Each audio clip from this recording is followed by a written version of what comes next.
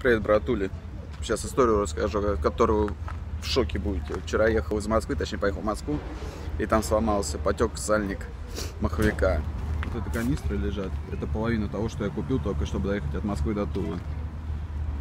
Смотрите, один, два, три, четыре, пять, шесть, и вон там семь, семь канистр. Это помал газель, короче.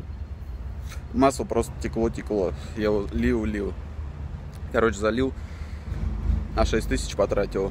Самое дешевое масло. Литров 50 масла залил, чтобы доехать, и то оно все вытекло.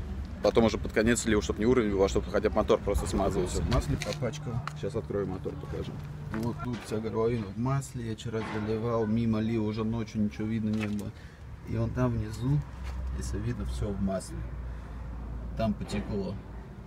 Знаю, видно мне там лужица маленькая. Это масло то, что дотекло. И тут вот раскиданы, пока я разворачивался, следы. В общем, приехал там, выгрузился вчера. Смотрю, лужа какая-то под машиной. Смотрю, масло капает, капает. Уровень смотрим, пустой, пиздец. До этого машина троить начала чуть-чуть, когда в Москву ехал. И иногда.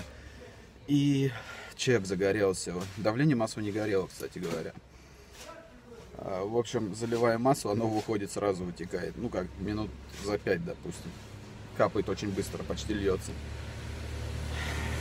Что принял решение ехать заливать масло. Отработки сначала заливал, потом закончилось, что мне дали отработки. Начал покупать масло, самое дешевое везде. Покупал и минералку, и полусинтетику. Даже трансмиссионное заливал. По нечаянности купил. Ну, почитал, что трансмиссионные тоже перекупы заливают в машины, поэтому в моем случае не особо страшно, что она вытекает сразу масло в моторе кристально чистое, потому что сразу промывалось. Ну вот, кое-как доехал, хорошо, мотор не клинанул. Сегодня уже на сервис записался. Поеду, посмотрим, что там скажут. Дальше посмотрим, запишу видосик. Ну, продолжение к этому видео сделаю. Посмотрим, что там поменяет и сколько денег это выйдет. Потому что разбирать, снимать коробку надо там. Почему выдавил сальник? Это вам на будущее. Это на любой машине такой может быть. Надо смотреть вот эта сеточка, который газораспределитель, где идет она там забивается и не проходит через этот патрубок воздух. Если она забилась и воздух не идет, то из-за этого выдавил сальник. Поэтому следите за этим, чтобы не было такой неприятной ситуации. Вот здесь стоит этот бодяга, не знаю, как она называется, вот здесь сбоку. Снизу идет патрубок на нее, от нее идет патрубок вот сюда. Сейчас я заткну их. Вот это забивается, ерунда, да. И туда не проходит воздух. И сальник из-за этого выдавило. Сейчас я в обход сделал шланг, тут заткнул, тут заткнул дырку. Сейчас буду обратно делать, потому что сейчас все равно к дилеру поеду. Поэтому вот эту ерунду надо проверять. Вот она, она чтобы не забивалась. А иначе не будет проходить воздух, давление там не будет воздуха, и все, и выдавит. Уже следующий день приехал к официалам, позвонили, забрал машину. Конечно, официалы работают, но кто сталкивался, знает как. Особенно если машины какие-то не Мерседесы, а бюджетные. Это вообще жесть. Звонят, впаривают, сделали диагностику, впаривают все подряд. Всю хуйню, что надо и не надо. Ну вот сейчас вроде починили, по, поездим, посмотрим. Мотор помыли, просил мотор помыть. Могли бы машину бонусом помыть, пидорасы. На других э, официальных, допустим, как Ford Genser, я знаю, машину бесплатно моют вообще. А тут э, попросил мотор помыть за деньги, то помыли, а кузов не помыли. Короче, говорят, надо поменять то, надо поменять это, впаривать все. Но если ты человек, который вообще ничего не понимаешь, ты, конечно, на все согласишься, тебе счет выставит вообще херенный. У нас счет вышел 18 косарей. Вот он счет, сейчас покажем. 18 тысяч счет. Э, что-то там по мелочи, там сказали, надо тоже менять туда-сюда. Я это и сам, в принципе, могу сделать. И, вот, допустим, крышка расширительного бачка. На русских машинах они меняются очень часто, потому что они вообще как сказать, не держат. Э, они клапан там у них херово не спускает. Я говорю, не надо мне это менять, это все равно часто меняется, все равно поменяли.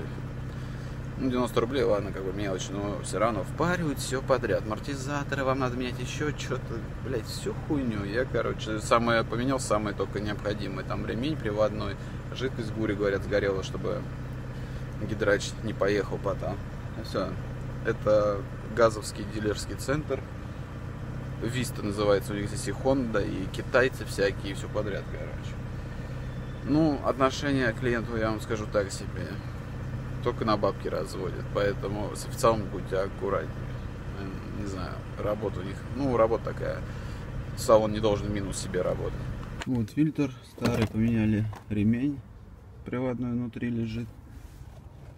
Ну да, ремень такой потрепанный, уже потресканный, кстати говоря. Коробка от шаровых, от новых. Вот он шаровый, старый. Перчатки какие положили, блядь.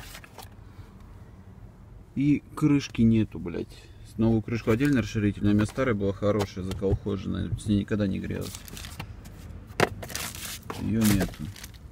Ну вот, вот так чистенький, в принципе, мотор помыли. Масло отмыли. Вот он новая крышка, которая лучше старая осталась бы. Мотор помыли, а капот весь в масле.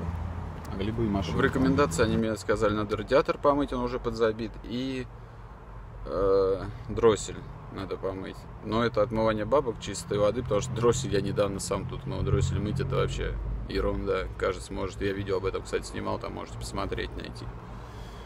Отмывание бабла полное идет. Не советую, в общем, покупать вам русский автопром, связываться с ним газель, все такое, потому что эти, эта машина 16 года и 2 года пробег, сколько там, 116, и уже тут все, кузов уже цветет, по мотору уже проблемы. Лучше, короче, для бизнеса брать какие-нибудь Hyundai корейцы какие-нибудь. Может быть, они немного дороже, но это надежный автомобиль. Если вам была полезная информация, поставьте лайк и подпишитесь на канал. Если есть вопросы, пишите комменты.